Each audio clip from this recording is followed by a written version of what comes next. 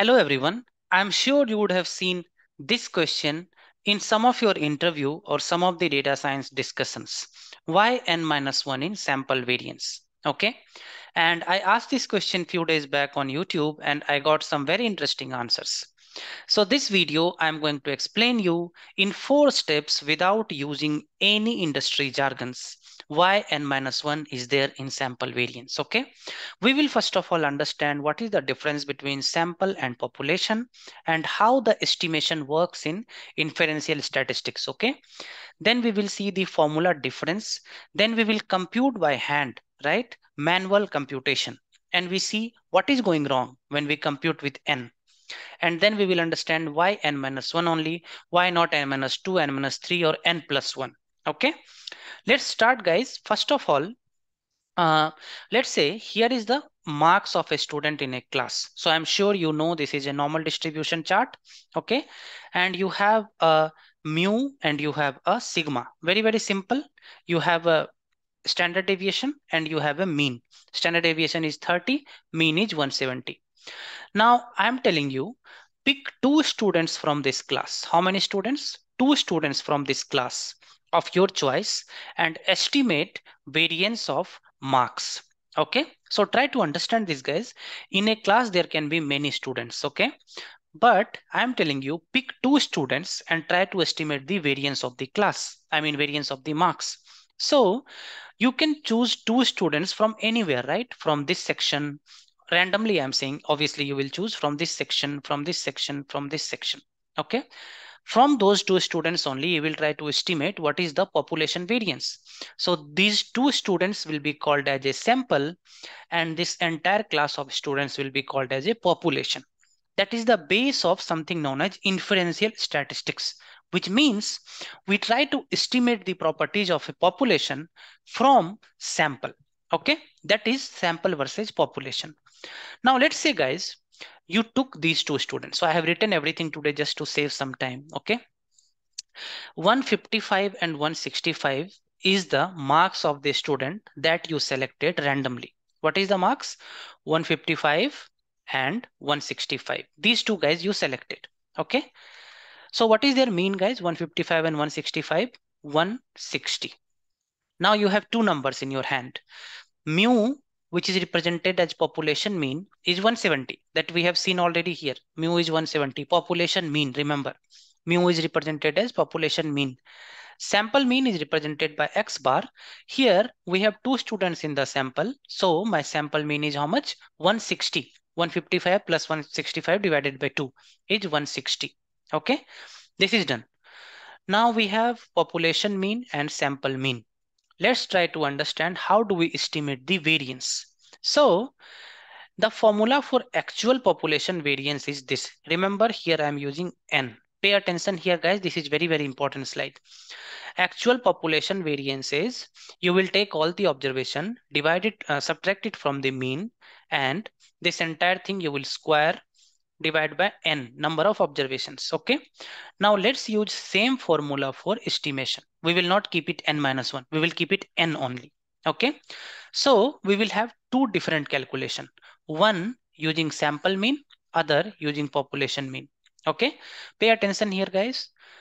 The observation minus sample mean observation minus sample mean divided by n. What is my n? 2 what is output i'm getting? 25 observation minus population mean, observation minus population mean divided by 2 because I'm using 2. I'm not taking n minus 1. So 125. Now, one important thing to note here, guys, pay the attention how your mean is deflated, how your mean is reduced. See here, uh, I mean, how your variance is changed. I mean to say, not the mean, the variance. See here, what you are estimating using sample mean is 25 and what you are using using population mean is 125 okay? Now one important thing to understand here is when you take two students sample from a class right which mean out of these two means you will have guys? You will have this mean right? You will have this mean. Because this is the sample mean right? When you are taking two students randomly which mean you will have you will have this mean, sample mean. When you are computing using sample mean, then your variance is coming 25, which is very, very low as compared to when you are comparing from population mean. So it is reduced little bit. Now let's try to understand what happens when you use n minus 1 in place of this. So when the correct formula, you know, to reach to the right mean is given n minus 1. Now here I am taking two student sample only. If you are taking, a, let's say 20 student sample, or let's say um, more more number of students as you grow this number more and more what may happen is your population mean will start coming closer to your sample mean. Try to understand this guys. Here there is only two two things two sample. At the moment you keep increasing the sample. Let's say this is 100 students right? 100 students. From these 100 students if i take my in my sample 80 students right then what will happen? My population mean and sample mean will start coming closer to each other. When that starts happening then these two numbers will start coming closer to each other. Okay? So we are not you know replacing this by n minus 2 or n minus 3 or n minus 4 or n minus 5 that is one reason. Okay?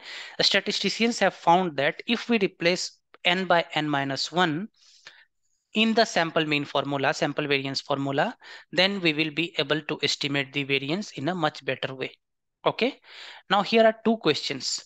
Why this is n minus 1 only?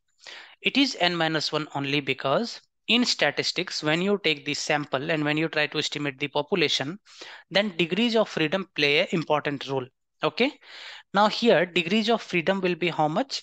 If you are taking, let's say five samples, two, three, four, five, 6 okay? This will have a mean okay? Let's call that mean as x. Now you have mean which cannot be changed and you have these five numbers. So this mean cannot be changed once you have taken the sample. So based on the principle of degrees of freedom and sample statistics we do here n minus 1 because the degrees of freedom become n minus 1 so there are two reasons why this n minus 1. Number one, as the population sample size grows, this will start coming closer to the actual mean. So we cannot reduce it by let's say n minus 5 or n minus 10. Second is in sample statistics, the degrees of freedom is reduced by one because mean is fixed when you take the sample. Okay. And in the end, I'm going to tell you the terminology alert and this is called as Bessel's correction. So when somebody asks you this question, don't directly say Bessel's correction. Say that when we take the sample statistics and try to estimate the population statistics, then what happens is the mean, uh, the the the some you know the estimation gets deflated. To inflate that estimation, we put n minus one. People will ask you why n minus one only. Then I already told you two reasons. So guys, in this video, we understood from a simple example, how do you compute population statistics from sample statistics and how n minus 1 plays an important role using this sample simple formula. Okay. Please give a thumbs up guys if you like this video and please subscribe to Unfold Data Science for more such videos. I'll see you all guys in next video wherever you are. Stay safe and take care.